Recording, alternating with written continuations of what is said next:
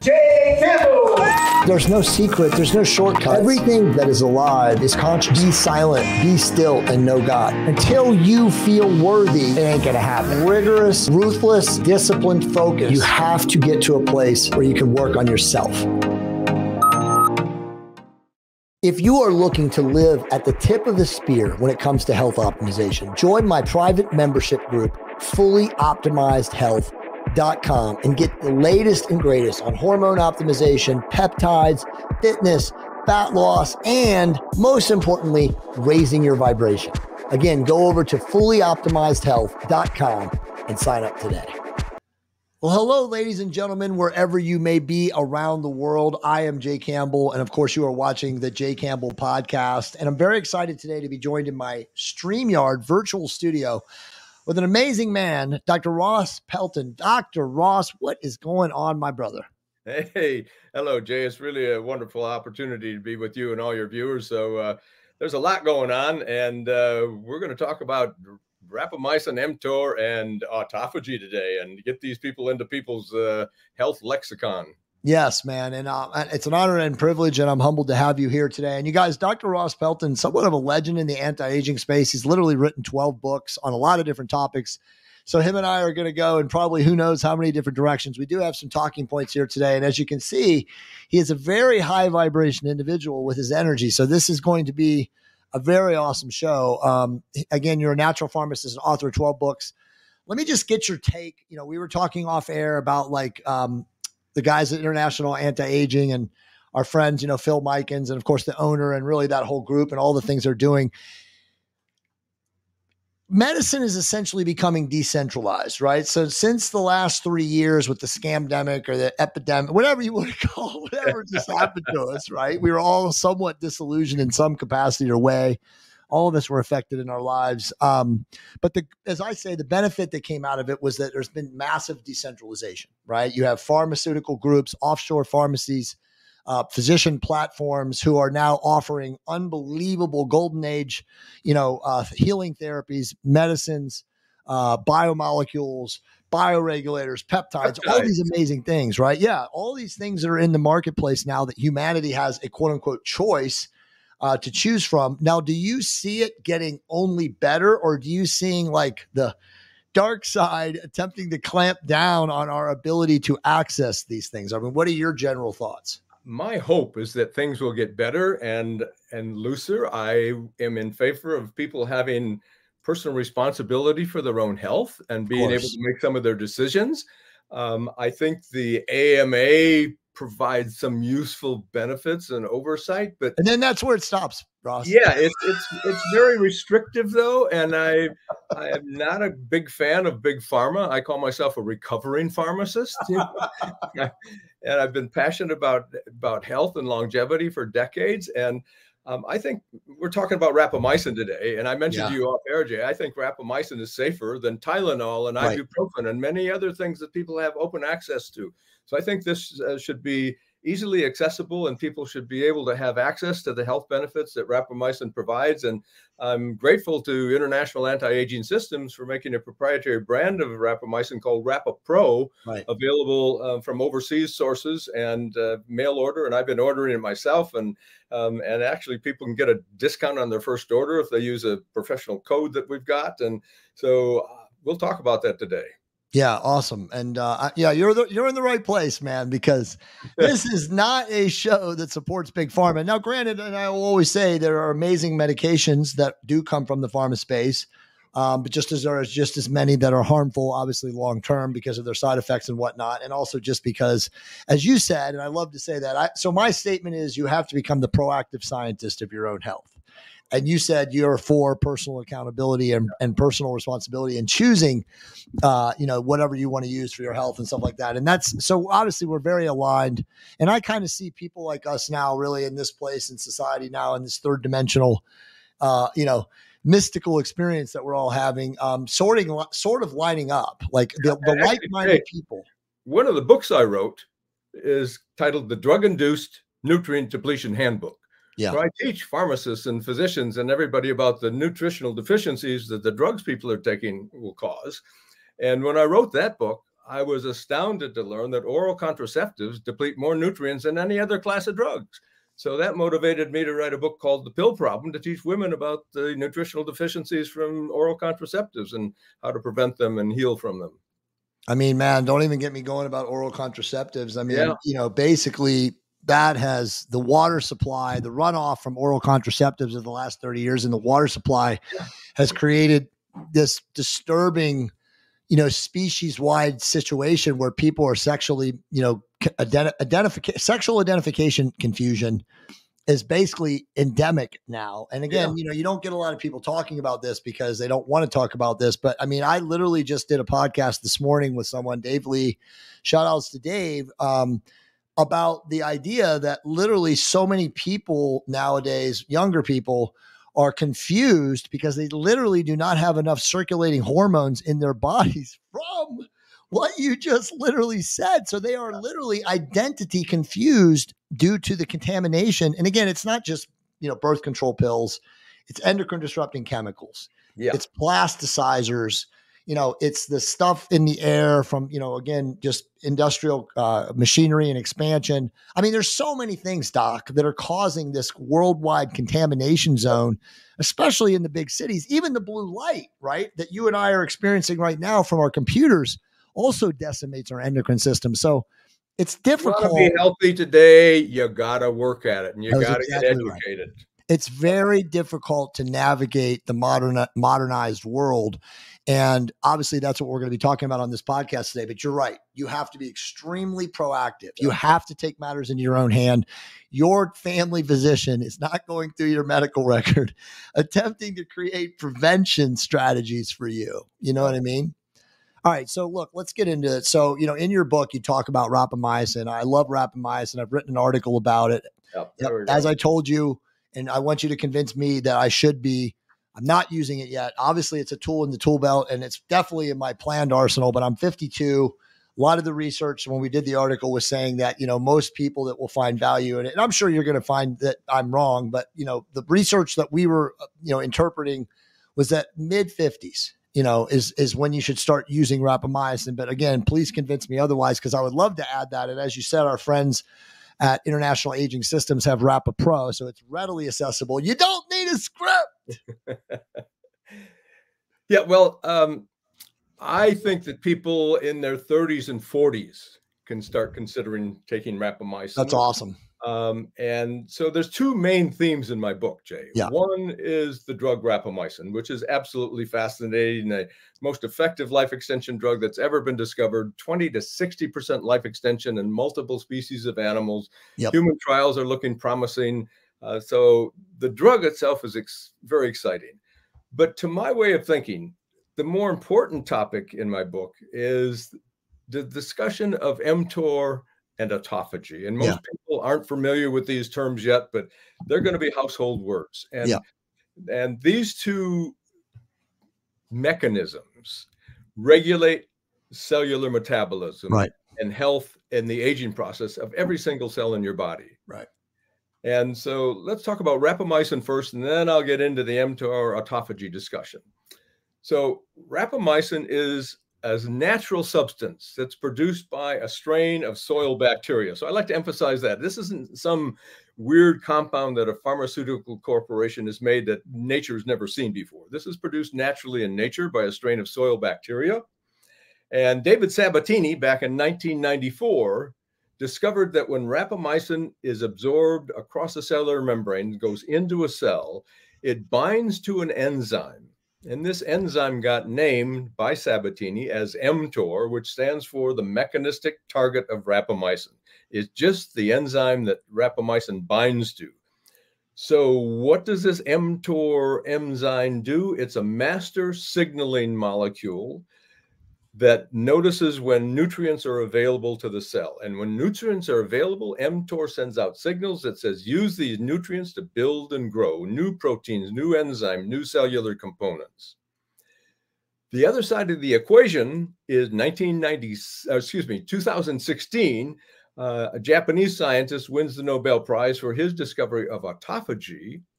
And autophagy is a process in cells that gets activated when no nutrients are available. Right. And so when mTOR is not being activated, there's no nutrients, autophagy gets activated, and autophagy is critically important for health and longevity. It's the primary detoxification process for every cell in your body, and it's the primary process for rebuilding and renewing your body. And so this mTOR autophagy ratio, I call it, for 99.9% of human evolution, these things were in balance. And these days, almost everybody alive is seriously out of balance. Right. Dramatically. More sense is what nutrients are available. For most right. of human evolution, Jay, people didn't get up in the morning, go to the kitchen, open the refrigerator, and start making breakfast. Exactly. People didn't eat three meals a day. No.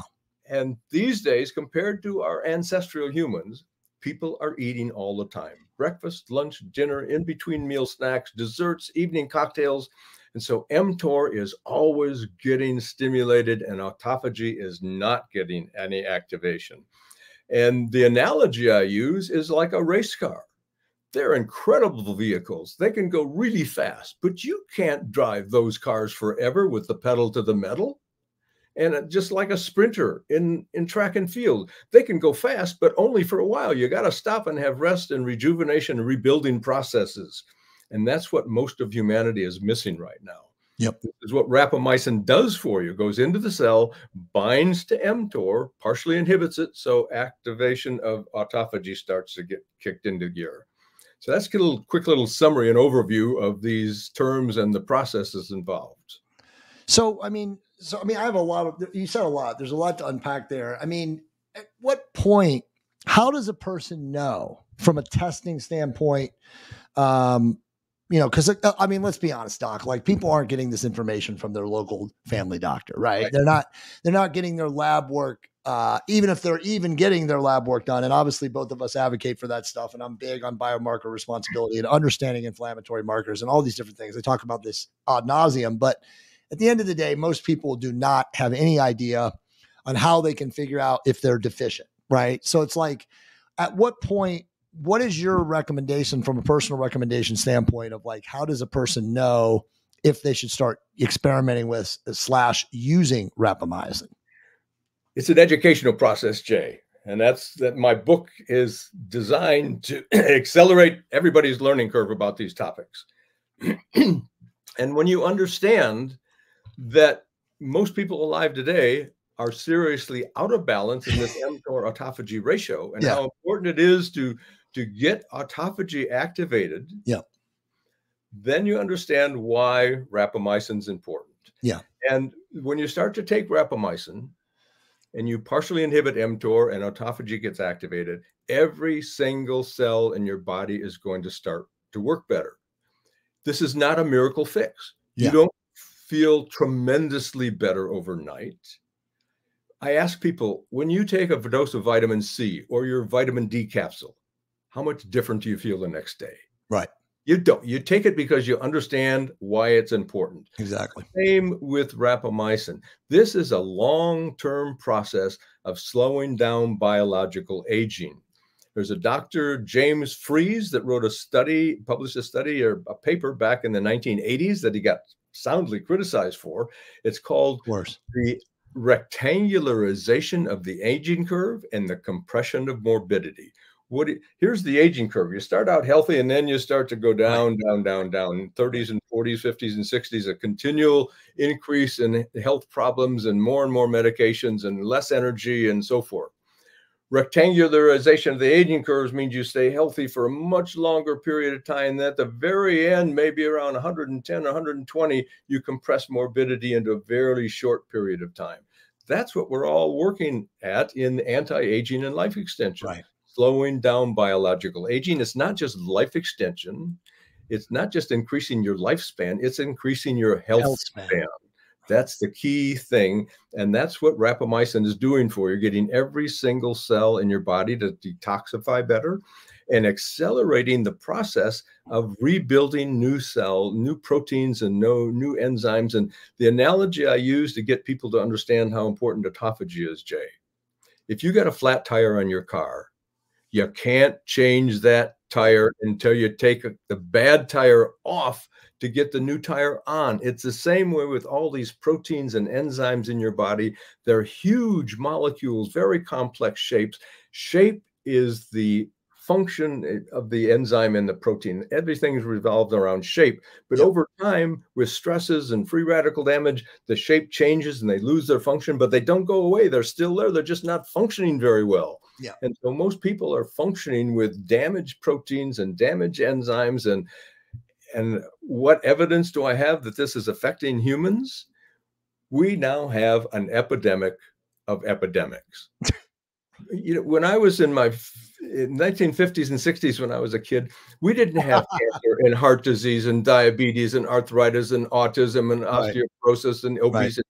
And now they're all an epidemic. The health of mankind is in a serious decline. And I think this autophagy mTOR ratio being seriously out of, out of balance is a fundamental mechanism that's causing or contributing to all these health problems. And it's actionable. People can yeah. fix this if they understand it. There's no doubt. I mean, I talk about autophagy. You're on the right channel. So, I mean, I talk about autophagy in all my books. Um, you know, and and also hormesis. And look, the reality is, it's very simple. If you can create your body an autophagic slash hormetic response by fasting, right? We're, we're, we're, talking about rapamycin, and I know we're about to get into fasting, but if you if you taught if you literally just train your body to become fast adapted, two days a week of 20 hours, 18 hours, 19 hours, and I like even longer. But you know, uh, fast intervals with no food, you know, drink. And by the way, I'm fasting right now. Water, you know, again, I know there's a debate about dry fasting and water fasting and all that stuff, but obviously I like to be hydrated. I like the cells to stay hydrated. But if you can just train your body to fast and go psychologically and psychogenically without food and without you know suppressing as you know and we could get into the spiritual component of this too but the suppression of you know all the bodies you know screaming from the microbiome of feed me feed me feed me you ultimately will it's essentially uh, ross you know doc a, a cellular fumigation response like you're literally getting rid of oxidative waste yep. you're you're getting rid of free oxy radicals you know you're you're you're essentially cleansing your body from the inside out and you're right this is what will extend health span. Yep. Yes, you'll live longer, but your health will be better. You bet. Yep. And in animal models, every single disease related to aging responds to rapamycin. Yeah. Every cell in your body starts to work better. But yeah. if you've got bone on bone arthritis, right, or if you've got an aneurysm in your carotid artery, rapamycin is not going to fix that. Right. You know, the it's not a miracle change for everything. Right. But it's really one of the fundamental things that's going to improve your long-term health and that's that's what everybody would really like to have. Healthy aging, healthy longevity. Yeah. So your dosage in the book that you recommend yeah. and, and, getting into rapamycin, the medication, which is obviously difficult to come by versus the RapaPro, which is our friends at International Anti-Aging Cells. Um, do you have a recommendation like yeah. for one over the other based on the individual? You bet. And and before I talk about that, Jay, let me back up and, and give a little bit more of the history of rapamycin. Sure. It'll help people understand why this is so hard to get, why a lot of doctors aren't familiar with it. So when it was discovered, it was first being researched as an antifungal drug. But the early researchers discovered that it suppresses the immune system. So all the original research came to a screaming halt. but in 1996, excuse me, 1999, September 1999, the FDA approved rapamycin for people that get a kidney transplant because organ transplant patients need to be on immune suppressing drugs for the rest of their life. So that was the first FDA approval for rapamycin. Samples of rapamycin got sent to the National Cancer Institute. They went crazy over it. They discovered that rapamycin is the first example of a totally new type of chemotherapy. Most chemotherapy drugs are called cytotoxic, they kill. They don't just kill rapidly dividing tumor cells, they kill rapidly dividing bone marrow cells and rapidly dividing epithelial cells that line your gastrointestinal tract. Most people don't realize that the epithelial cells in your GI tract that line your intestinal tract are the highest rate of turnover cells in your body. So those cells get damaged with chemotherapy also. But right. rapamycin is not cytotoxic, it's cytostatic. It stops cancer without all the cytotoxic side effects. So in the early 2000s, rapamycin got FDA approval for treating several different types of solid tumor cancers. Herein lies the problem. Most doctors won't write a prescription for a life extension enthusiast for chemotherapy or something that suppresses the immune system. but the breakthrough really came when a scientist by the name of Joan Mannick was working for the multinational drug pharmaceutical conglomerate Novartis. She had the enviable position of being able to research anything she was interested in. And she was interested in aging, and she got interested in rapamycin, and she devised a, a very unique study, took elderly people, 65 years old and older, divided them into four groups, a placebo group, a group that got a rapamycin called a rapalog, a rapamycin-like drug that had the same effects of rapamycin. One group took half a milligram every day. One group took five milligrams once a week. The fourth group took 20 milligrams once a week. They took their medication or the placebo for 12 weeks. Then she stopped and there was a washout period. And then all of them got the seasonal flu vaccine injection. Right. And she did blood work and measured how their immune system responded to the challenge of the flu vaccine. And five milligrams once a week was the sweet spot. Those elderly people got a 20% boost in the effectiveness of their immune system. If you're in your 60s or older and you boost the effectiveness of your immune system 20%, that's a big deal.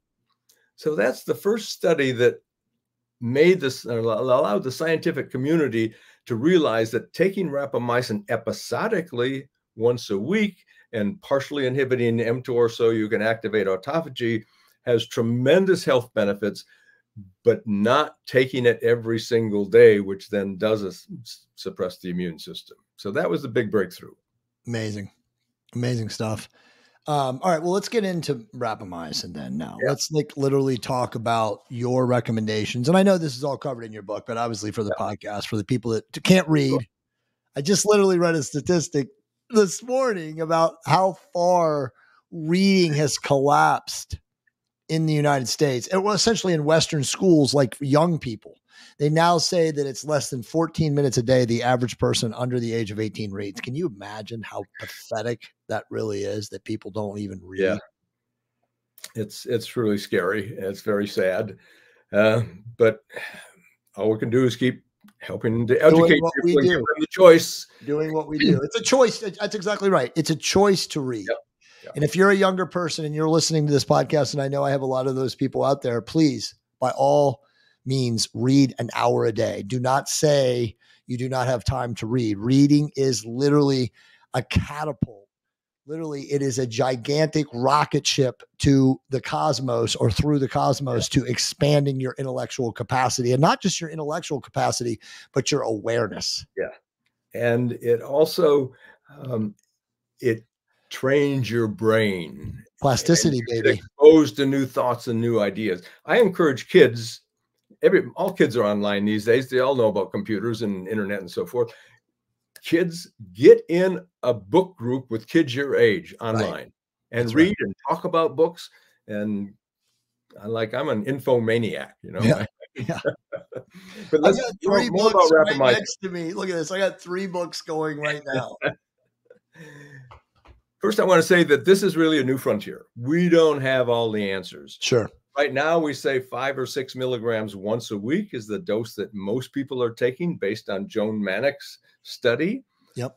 However, we don't know if five milligrams once a week is better than eight milligrams once a week, or should would you do better taking 10 milligrams every other week? We don't right. know the answer to these things, but yeah. we know that five or six milligrams once a week is very safe and very effective and provides big bang for your buck in terms of health outcomes. Um, I, I'm now a big advocate for doing blood testing on your rapamycin. The generic name for the drug rapamycin is sirolimus. Right. So the blood test you want to ask for from LabCorp is sirolimus.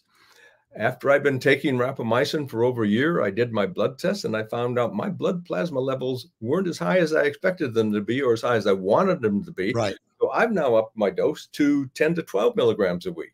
And I'm getting blood levels where I want it to be. And I'm encouraging and emphasizing to people if you don't test, you don't know. Right. You're just guessing. So you don't know if I'm sure there's wide variation in people's ability to absorb rapamycin and metabolize it. And so test, test, test. Um, and you can get the, the lab test for sirolimus through the Life Extension Foundation for $95. And they have doctors on staff, so they will send you the lab test uh, requisition. You can take it to LabCorp and get your blood drawn. I found out that you can go directly to LabCorp and get the same blood test for $54 instead of $95 from Life Extension, but it requires a prescription. Well, yeah. I went to my doc who's supportive. I've educated my doctor about rapamycin. it's not hilarious. You have to educate your doctor. Yeah, exactly. Yeah. She wrote a prescription for the sirolimus blood test that says one year standing order. That's awesome. I can take that to LabCorp anytime I want and get my blood tested. And we're advocating that people try to get their blood test, their blood drawn roughly about 20 hours after ingesting their dose. Okay. It's so hard to target right exactly one or two hours after because you don't know if you can get into LabCorp. And, but if you go 20 hours, if, it, if it's 18, 19, 20, 21, 22 hours, that little window of time, we're going to get a lot of information for people taking rapamycin at about 20 hours roughly and we'll find out different this is one way to tell whether a brand is well absorbed. What's your what's your blood level? And if we get a lot of people putting in their data we'll get a lot of information uh, eventually. And the best place to get updated and ongoing information about rapamycin is the online rapamycin forum called rapamycin.news so I encourage everybody listening to go to that website. There's an enormous amount of information there. You can put any question in and you'll find the threads to all the discussions on particular topics. Um, for people that can't find a physician who's willing to write them a prescription for rapamycin, there are doctors who will do telemedicine visits yeah. for rapamycin. So you can go on the rapamycin.news website and search for doctors who will do telemedicine visits. Uh, so that's another option. Or as we mentioned, uh, you can purchase RapaPro from International Anti-Aging Systems and get it shipped from overseas without a prescription. And a lot of people um, have complained. Some medical doctors have pushed back on me and say you shouldn't be promoting that. That's illegal. Um, and there's a couple things that make this legal. Back in the 1980s, during the HIV/AIDS epidemic, the FDA made a policy decision change that made it legal for people to import up to a three month supply of their personal medications. So that's one thing that makes importing RapaPro legal. The other thing is that International Anti-Aging Systems does not sell rapamycin or their proprietary brand RapaPro to the general public. It's a membership organization. How do you become a member? One cent of your first order is your membership fee. So that's how you become a member. And so this is all legal and it's been going on for quite a few years. Uh, International Anti Aging Systems specializes in making difficult to obtain life extension drugs available from around the world. And now they have their proprietary brand RapaPro available. So back to who should take rapamycin and who shouldn't take it. Yeah. Inhibiting mTOR inhibits growth. Right. So you would never recommend rapamycin to a child, an infant, a child. I don't even think people in their 20s and 30s should be taking rapamycin because that's still a time when you're still going through a, a growth phase. Yep. Whether you should start in your late 30s or early 40s, we don't know the best time. And I'm sure different people would or can start at different ages. For example, somebody that's really healthy at 50 is different than somebody who's obese and has metabolic syndrome who's 30 years old. That younger person who's in poorer health might be able to start rapamycin earlier and get significant benefits. But again, we don't know the answer to this, but we do know that adults can safely take it. Um, the other group of people that should never take rapamycin are pregnant women because the developing fetus is the most rapid time of, of growth that we know of. So you don't want to inhibit that by giving rapamycin. So that's a little bit of an overview of who can take it. Um, Dr. Alan Green, a physician yep. in New York, who's got over 1,200 patients on rapamycin yep. now, he's suggesting that elderly people can maybe get more benefit by taking higher doses. Um, I mentioned I've increased my dose to 10 sure. milligrams a week, but again, we don't have all the answers on this. Yeah. Things I recommend that people to do to track their progress. First of all, I think everybody should a baseline blood panel at the beginning so you've got something to compare it to three months, six months sure. after you get started on rapamycin. There are a couple of possible side effects from rapamycin, but they're very minimal. And as I mentioned, the, the side effects from rapamycin are far less severe, uh, severe than some of the side effects from easily available over-the-counter drugs like ibuprofen and Tylenol. Right. Tylenols and uh, acetaminophen is the number one cause of liver failure and liver transplants. Horrible for the liver. Yeah, horrible. Yeah. So, well, so, well, go ahead, keep going. Go ahead. Um, no, I was just going to ask you about the difference between the rapamycin pro and the actual medicine. Okay, is there? Point. Do you do you do you notice? Because obviously you use both. Yeah. Do you notice the difference? A number of different brands. Um, rapamycin is a difficult drug to absorb. It's it's fat soluble, and we don't absorb fat soluble nutrients very right. efficiently. Same with vitamin D and coenzyme Q10. They're fat soluble nutrients. Uh, if you're taking those, you want to take them at a, a meal that contains fat to enhance the absorption. Right. You'll get better absorption of rapamycin if you take it at a meal containing fat or along with some fat. Um, i sometimes will take half an avocado or um, some cottage cheese or some form of fat containing food along with my dose of rapamycin. So the question for you then right there is that if you're fasting and the day that you're fasting, you're taking your rapamycin, and obviously if you're only taking it once a week, right? Like most people, then you just pick it a day that you're eating. Yeah. And you take it with food. So it really wouldn't be that big of a question. But if you did take it, or let's say you forgot it and now you're on a fasting day and you're at like 18 or 20 hours right when you break it, you would take it then when you eat a fat with a fat soluble food at that moment in time, right? So 18 or 19 hours. I've taken it multiple times without fat, just on an empty stomach, and you still get average sure. level. So it is getting absorbed, but you can enhance it uh, by ingesting it with fat. Right. Uh, a little bit about fasting. I'm I'm on the same page with you, Jay. It's really very important. Yeah. Um, most people do the 16-8 protocol where you stop eating about eight o'clock at night and then don't eat anything until noon the next day. So you've gone 16 hours without food.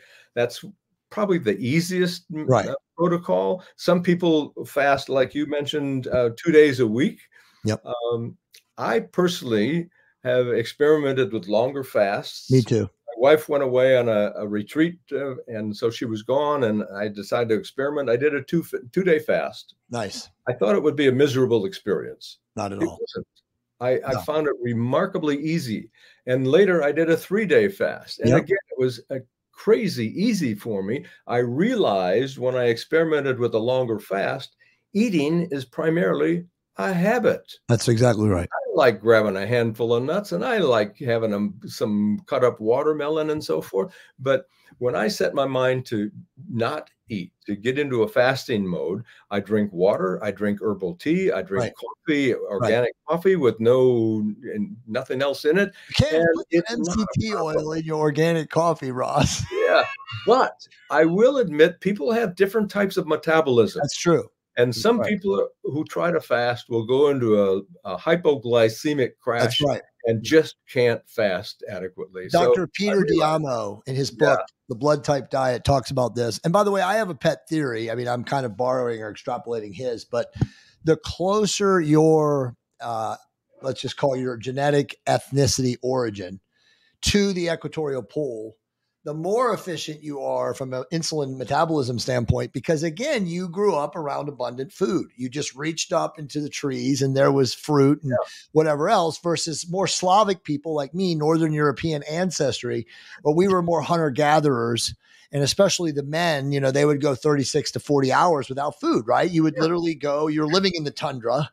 You know, food was not abundant or plentiful. You had to kill what you ate right? So it's like you're right. Like genetically, bioevolutionarily, our uh, you know metabolisms have evolved to handle and process insulin differently. So you're right. But but I will tell you this, and to to your point, we're nothing more if we get really deep in meta here we're nothing more than mind anyway right? I mean we're basically worrying atoms and vibrating molecules and hopefully oscillating waves of energy and frequency. And so if you take your mind to a place of like i'm not going to eat for 36 to 48 and maybe like you said go three days and that's what i've done too. I've gone up to like 74 hours.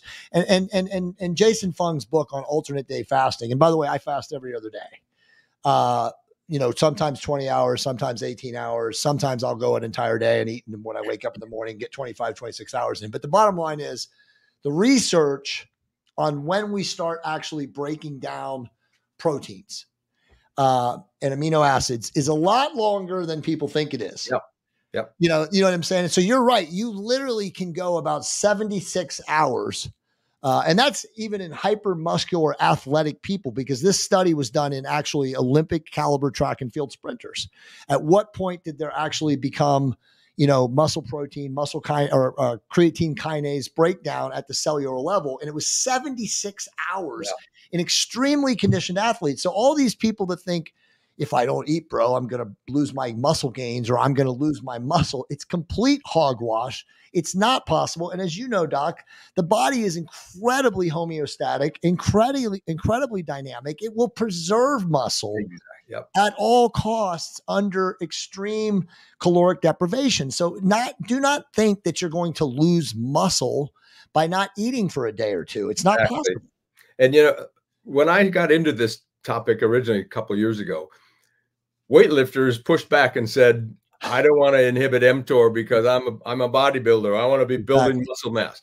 And I, I try to get them to understand you will build muscle mass more efficiently if exactly. you go for a period of time without calorie intake. So autophagy can break down those old 100%. proteins and accelerate your body's ability to build healthy new muscle mass. If everybody exactly, and if every human on this planet literally went alternate days from eating and f- nourishing their body, reglycogenating and lifting, right? Doing some form of bone bearing resistance training. And then the next day didn't and did, you know, low impact, uh, moderate intensity, consider it zone two cardio, right?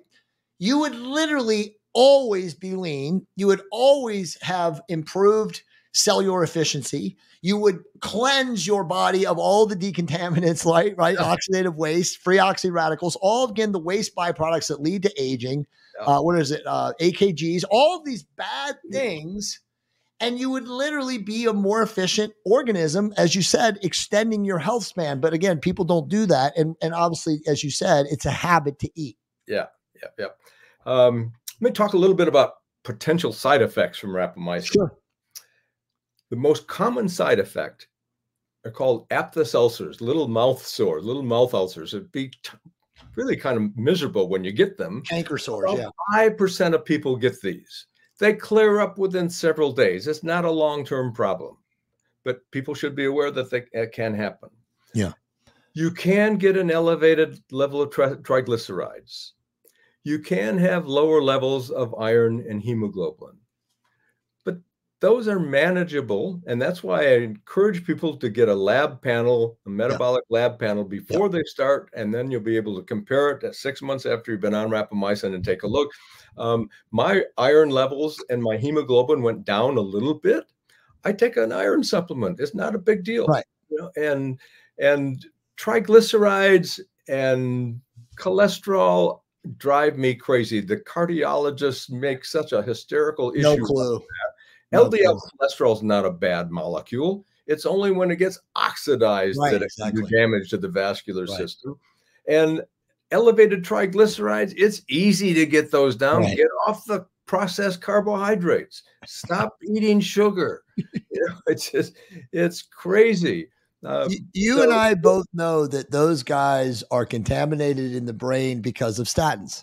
Yes. The statin, the statin. Don't get me going on statin. Yeah, listen, the statin industry changed cardio, thoracic, and cardiovascular physicians' ways of t- treating with people. Because you and I know that those guys, one year out of med school, literally are taught over 200 paid, paid, paid, paid, to, paid, paid to write statin prescriptions. And, you know, coenzyme Q10 is another one of my top life extension nutrients. Absolutely. The mechanism of statins is to block an enzyme in the liver that's responsible for cholesterol. It's production. insane. That blocking insane. that enzyme blocks your ability to synthesize coenzyme Q10. It, I mean, Ross, uh, let's be honest. I mean, statins are one of the most harmful medicines in the history of the planet. I mean, you, you if you just like eliminated SSRIs and statins, you would dramatically improve the health of yeah. the aging population. And as long as we're on coenzyme Q10, I'll send a link to you that you can post in the show notes for people. I'm adamant about educating people about the necessity of crystal free coenzyme Q10.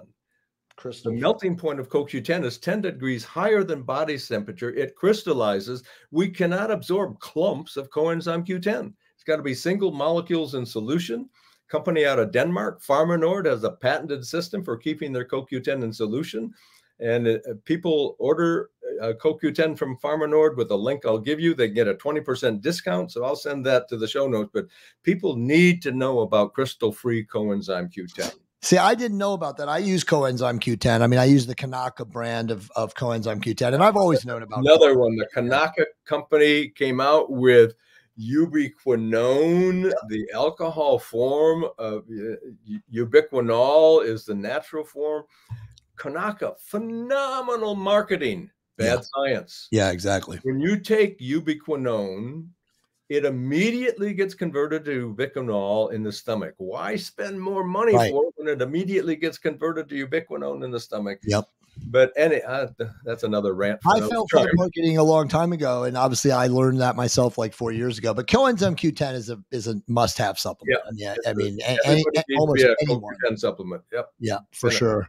Um, all right. Well, I mean, we, we, kind of hit every talking point. Is there something else that you wanted to really summarize? Yeah, I'd like to talk for a moment about the gut microbiome. Let's do. Let's and do. probiotics. Uh, yeah. because it's a it's a really important topic.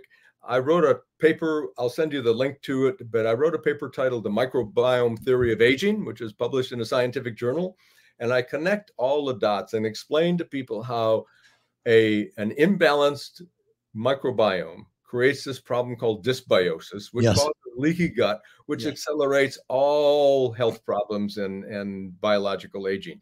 And so, what I'm trying to teach the world is, and here's a little booklet that talks about it Dr. Ohhira's probiotics and postbiotic metabolites. People don't understand probiotic bacteria. They think for they think probiotic bacteria provide health benefits. And for decades and decades, people have had this intuitive sense that probiotic bacteria provide health benefits. That's not the way the system works. The job of probiotic bacteria is to ferment and digest food components and create secondary compounds that we call postbiotic metabolites. And it's these postbiotic metabolites that have a wide range of metabolic activity. So it's not the probiotic bacteria, it's the compounds that probiotic bacteria create that are master health regulating compounds for your entire body. And Dr. Ohhira's probiotic contains over 500 of these postbiotic metabolites in every dose. You can go to my website, naturalpharmacist.net forward slash Ohhira books. That's O H H I R A B O O K to get a free copy of this booklet. And so, um, one of the things I want to emphasize here in this discussion of probiotics and postbiotic metabolites, the, I regularly tell people if you don't feed your probiotic bacteria well, they will not thrive and survive. What are the types of food that probiotic bacteria require? Dietary fibers and compounds called polyphenols. There's That's over right. 8,000 polyphenols that have been structurally identified. Polyphenols, Doc. Polyphenols. They give, they're the compounds that give color to fruits and vegetables. That's right. They're huge, large molecules. We don't digest and absorb these large polyphenols very efficiently, and we don't have the enzymes to digest dietary fibers. So these compounds go all the way through your digestive tract unchanged until they reach the colon. And in the colon, which is where 99.9% of the bacteria in your intestinal tract live, dietary fibers and polyphenols are the food for your probiotic bacteria. They digest them, break them down, produce these smaller compounds, postbiotic metabolites, that have a wide range of biological activity. Some of them are directly anti inflammatory, some of them directly kill pathogens, some of them rebalance the acid base level. Let me talk about the acid base level in the intestinal tract for a minute. A healthy microbiome has a slightly acidic pH. How do you get that? Many of the postbiotic metabolites are weakly acidic compounds. There's short chain fatty acids that are propionic acid, acetic acid, lactic acid, butyric acid. There's organic acids, there's nucleic acids, there's fulvic acids. All of these weakly acidic compounds create the slightly acidic acid base balance that's optimal for the growth and proliferation of your good bacteria, and it suppresses the growth of bad bacteria. When people have microbial imbalance and dysbiosis, the acid base level is anywhere from 10 to 100 times too alkaline. You yeah. have to get it back down to this slightly acidic level to have a healthy microbiome. It's these postbiotic metabolites that do the job for you. And people have the wrong idea about commercial probiotics. Americans think more is better. Mine's got 50 billion, mine's got 100 billion, mine's got 200 billion balance and diversity are critical for the health of microbiome. You take 200 billion of one type of bacteria, it's throwing everything out of balance. I use the analogy of immigration. We let a certain number of immigrants into our country every year. That's a good thing. But if we let 200 million immigrants in, everything would be out of whack. The police system, the school system, the hospital, everything would be out of whack. So balance and diversity. And so it's not about taking a large number of one or several strains in. You want to get small amounts of as many different types of bacteria as possible. That's bacterial diversity. And the only way you can do it is by consuming a diverse range of fiber and polyphenol canine foods. I try to get people to understand the importance of consuming a little bit of as many types of food every day as possible because different types of bacteria require different types of food. I've got an eight minute YouTube video I want to encourage everybody to watch. You can just Google Ross, R O S S, salad buzz, B U Z Z. I teach people how to make a microbiome supporting salad. I've got 16 different types of vegetables in my salad buzz. And the secret, after I chop everything up and process it, squeeze a lemon on there and toss it with lemon. The vitamin C in the lemon juice will preserve your salad buzz in a Tupperware for a week. It's a tremendous time saver because four or five nights a week, my wife and my main meal is our evening salad. I go to the refrigerator, I pull up my Tupperware, I pull up my bag of lettuce. It's got four different types of lettuce in it a handful of lettuce, a handful of buzz, a little wild caught salmon, or some garbanzo beans for protein. two minutes to make dinner. It's a tremendous time saver, and you're supporting your microbiome. So people can get a free copy of this booklet by going to naturalpharmacist.net forward slash Ohhira book. You can see my eight minute YouTube video at uh, natural pharmacist forward slash. Um, let's see, the video is, is, is um, Ohhira book. You know, I'm sorry, I made the. This is um, the forward slash Ohhira book, and um, the video is Ross's Salad Buzz, and then I'll also send you the link for the microbiome theory of aging that people can tap into. I've actually read that. I mean, I, I, I just want to say first off, thank you so much for coming on this podcast. This was amazing. I mean, we covered a lot of ground and talked a lot about a lot of stuff. I want to add um, the, the microbiome is the etiology of all disease. Yep. Let's just let's just be honest. I mean, like at this point, we know that the microbiome, the gut brain, is as important as this brain. Yeah. You know, it really is the internal axis uh, for everything. Everything. Right? You're right. For like every, every, every, single person on this planet that has a bad disease, it literally started. The etiology started in the gut. Well, and let me explain something here that really explains why this is such a critical issue. One study I just had made a slide of and gave a presentation earlier reported that 88% of American adults, teenagers, and children have metabolic gastrointestinal problems. For sure. I've got multiple studies that report that from 90 to 95% of American children and adults do not consume adequate amounts of dietary fiber and polyphenols. So nobody's feeding their gut microbiome the foods that they need to have a healthy gut. And these postbiotic metabolites don't just regulate your gut, they get absorbed into your system and they influence your brain and your liver and your lungs and your kidney. They influence every single organ system, especially yeah. your immune system. Yeah. So it's absolutely critical that people understand the importance of creating and maintaining a healthy microbiome. And Dr. Ohhira's probiotics is the best way in the world to really uh, get positive changes in the gut microbiome because you every dose you're absorbing 500 of these postbiotic metabolites that will immediately start to make positive changes in your gut microbiome. It's awesome. I mean, again, it's it's just incredible how contaminated our environment is, how yeah. contaminated our food supply is. I mean, everything that comes in a box, doc, is, is yeah, yeah it's processed. It's all processed foods, seed yeah. oils, you know, high fructose corn syrup, yeah. You yep. name it. There are poisons. I mean, you know, I know there are people still out there arguing that GMO feeds a large percentage of the world, but you and I both know that that's nonsense because GMO literally cannot be metabolized. Killing the world. And, exactly. Yeah, I did a little research a couple months ago. There's over 4,000 fast food res- fast food restaurants in every state in the United States. It's insane. It's literally yeah, insane. insane. No, uh, one little another point I'll clue you into here, Jay. I'm just finishing up writing a, an article I'll get published in a scientific journal, and I'm writing a little booklet on the glutathione theory of aging. Sure. Glutathione's critically important for health, and I don't want to take time to dive into that topic today, but maybe the next the next show. I'll get a copy of that to you as soon as I get it finished. Awesome, man. I mean, uh, all right, you just whetted my appetite, so I'll ask you off air. So, obviously, ladies and gentlemen that have watched this amazing show, Check him out at his website. It's naturalpharmacist.net. Obviously, buy his book on rapamycin. You can also follow him on Twitter, Ross Pelton, PH. And then, of course, to get your free copy of um, the book that he's talking about here tonight on probiotics and postbiotic medicine, go to naturalpharmacist.net forward slash Ohhira or Ohhira, O H H I R A B O O K. And then you're going to send me the link for the video um, that you want people to watch too. And then I would just say again, thank you so much for coming on the show. Remember, folks, support the amazing people that come on the Jay Campbell podcast. And remember, raise your vibration to optimize your love creation. We will see all of you guys very soon.